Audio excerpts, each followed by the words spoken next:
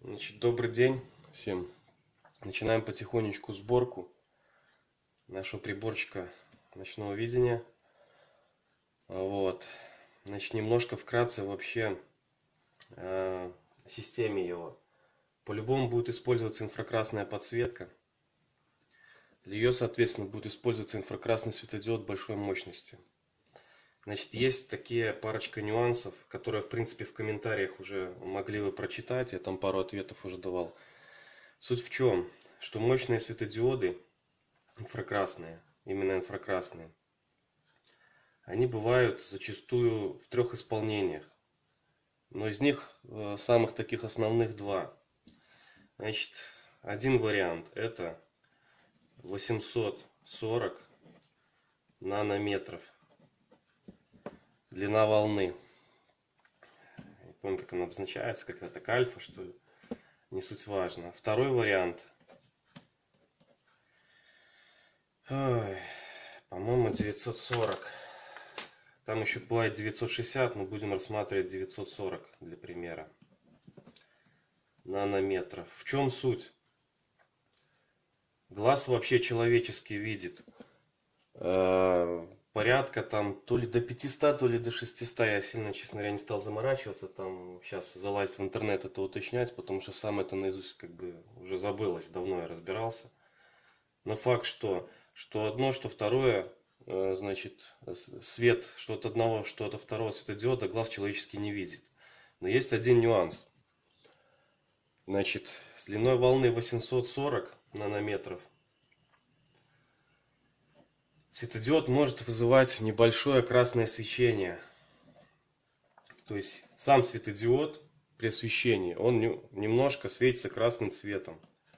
Учитывая, что светодиод мощный, он может не немножко это делать, а светиться нормально.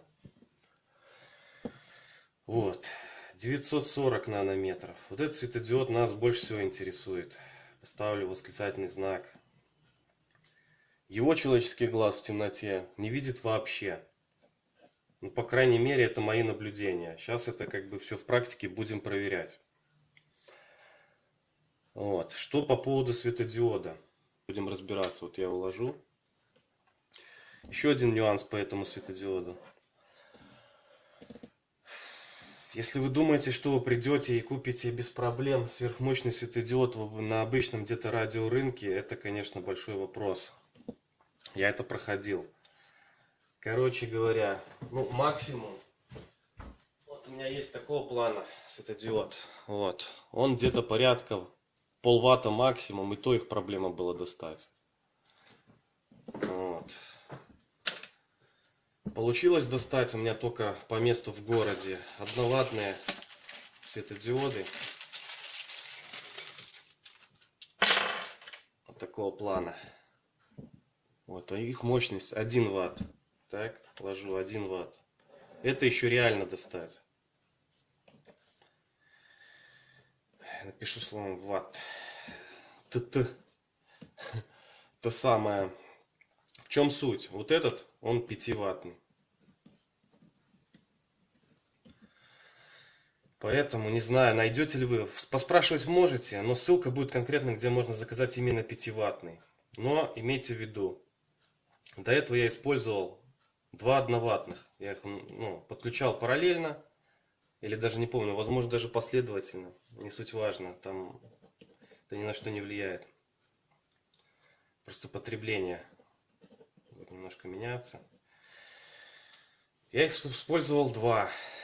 По моим наблюдениям, два таких светодиода при напряжении 6,7 а, вольта кушали 0,44 ампера. То есть прилично. При 12 вольтах они кушали уже где-то, ну, 0, там, 21, что ли, там. Ну, примерно, грубо говоря, в два раза меньше. Ну, как бы, если были измерения при 6 вольтах и 12, наверное, было проще. Но суть в чем? То есть, чувствуете разницу.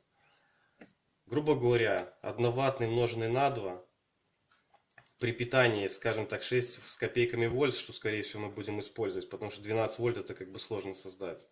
Кушает пол ампера. Представьте, сколько будет кушать 5-ваттный светодиод. При таком напряжении, грубо говоря, умножаем, ну, соответственно, на 2. Потому что здесь 2 одноваттных, будем считать 2 ватта. Так. 2 ватта у нас будет 5. Ну, в два с половиной раза больше получается, где-то так, правильно? Два с половиной, соответственно, 0,44 в два с половиной. Ну, не суть важно. Короче, потребление будет приличное. От ампера, от 1 ампера до полутора. На это рассчитывайте. То есть, если вы для питания используете какую-нибудь батареечку крона, то вы разоритесь. Она будет съедаться, но в лучшем случае, не знаю, там, технически за час, но реально хватит, может, минут на 20. То есть, исходите из этого. Значит, в плане работы. Так, что нарисовано? Что вообще принцип работы?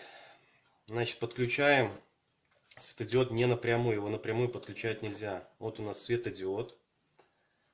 Потом у нас идет драйвер. Драйвер. Сейчас я вам покажу, какой у меня есть драйвер. Значит, у меня вот такой вот драйвер. Я его пока ложу, обвожу. Потом расскажу про него. Есть у нас драйвер. Соответственно, что нам еще надо будет? Надо нам кнопочка включения. То есть просто какой-то тумблер. Нарисуем его так. Три вывода. Обычно так стандартно идет он. знаю, есть он у меня тут под рукой, я его сейчас тогда... Ну вот, в плане вот я его подготовил. Значит, у нас будет тумблер. Переключатель клавишный. Естественно, нам потребуется Питание. Я планирую для питания использовать такие вот элементы производственные. Откуда я их взял? Выпаял я их с аккумулятора ноутбука старого. Можно, в принципе, купить. Такие стоят от 50 до 100 тысяч белорусских рублей. Ну, по нынешнему курсу в долларах это уже еще меньше стало. Вот. Значит, аккумулятор.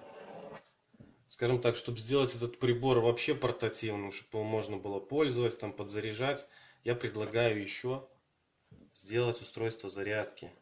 Ну, будет выглядеть в принципе как тупо штекер для подключения внешний. Какой-то штекер. Вот у меня такой есть, например. Вот он.